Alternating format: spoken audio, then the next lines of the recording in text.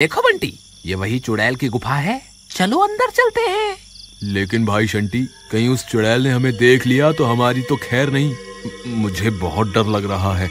एक काम करते हैं मैं यहीं तुम्हारा इंतज़ार करता हूँ। तुम अकेले जाकर उस तोते को वहाँ से ले आओ।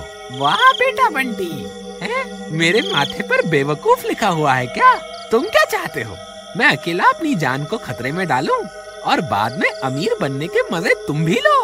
नहीं नहीं तुम्हें भी मेरे साथ ही चलना होगा। ठीक है भाई चलो फिर जो होगा देखा जाएगा। वे दोनों गुफा के अंदर चल देते हैं।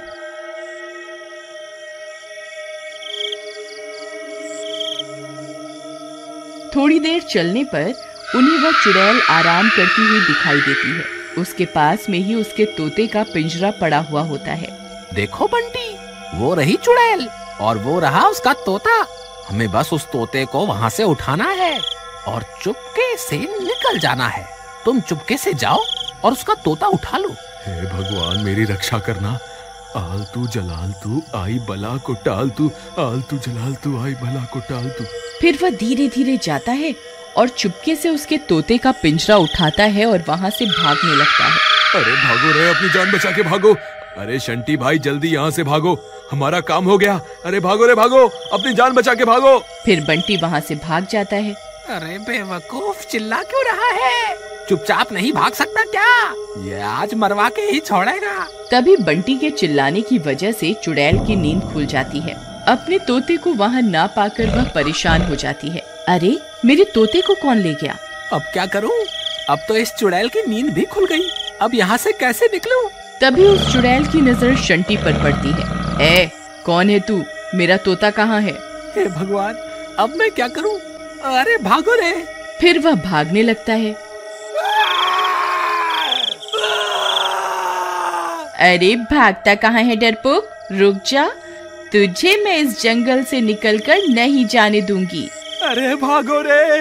अपनी जान बचा के भागो। चुड़ैल भी उसका पीछा करती है। फिर वह भागते भागते गाँव पहुँच जाता है। वहाँ बंटी पहले से किसी के घर में छुपा हुआ होता है।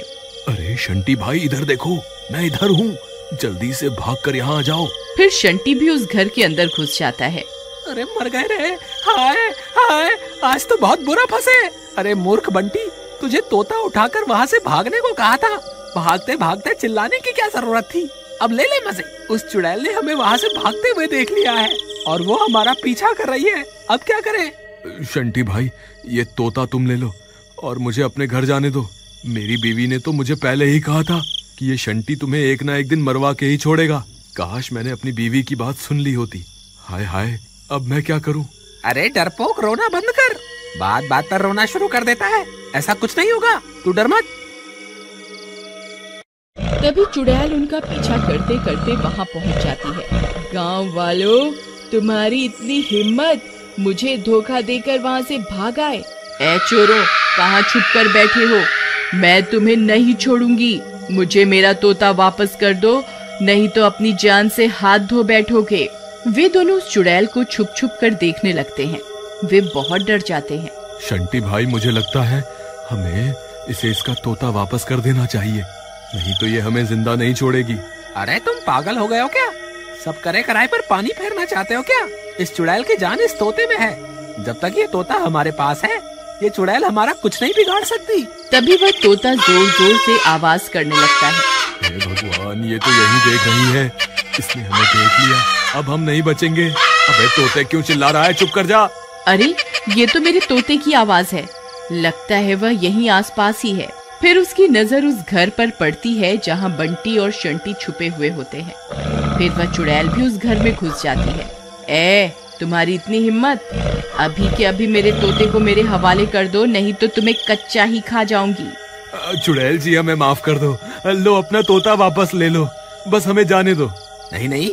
अरे बेवकूफ़ तुझे क्या लगता है? अगर हम इसको इसका तोता वापस भी कर देंगे तो क्या ये हमें यहाँ से ज़िंदा जाने देगी?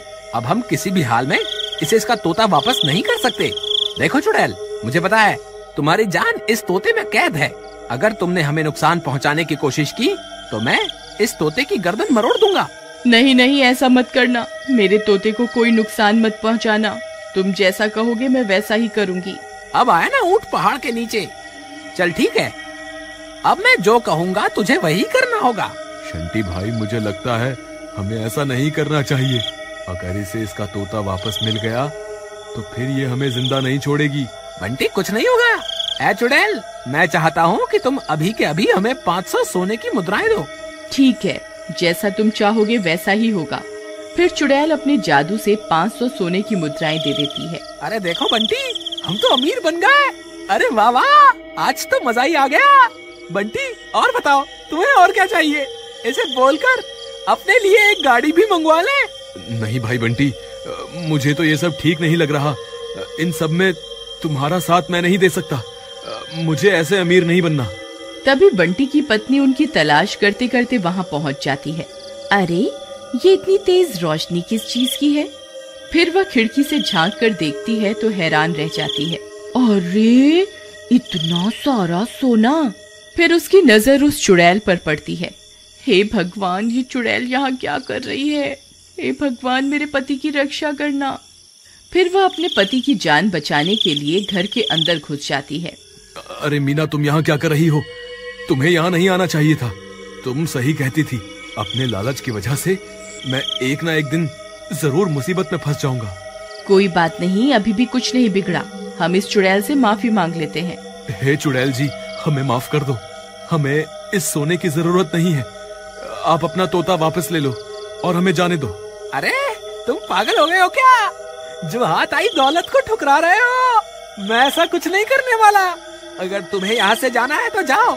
मुझे तो अभी खूब सारा सोना बनाना है। ठीक है, हमें इस सोने की कोई ज़रूरत नहीं। चलो, हम यहाँ से चलते हैं। हे चुड़ैल जी, हमें आपसे कुछ भी नहीं चाहिए।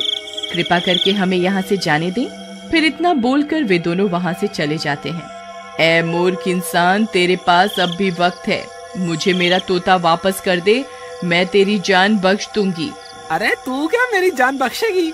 तेरी जान तो मेरे हाथ में है। तभी अचानक से तोता अपने पर फड़फड़ाता है और शंटी के हाथ से निकलकर उड़ जाता है। अरे मर गए रे। तोता भाई वापस आ जाओ ना।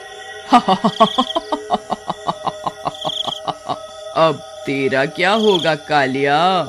हे चुड़ैल जी अपना सारा सोना वापस ले लो। और कृपा करके मुझे यहाँ से जाने दो। नहीं तुझे तेरे लालच की सजा ज़रूर मिलेगी। आ, मर गया रे। इस तरह सही समय पर संभालने की वजह से बंटी की जान तो बच जाती है और अधिक लालच की वजह से शंटी को अपनी जान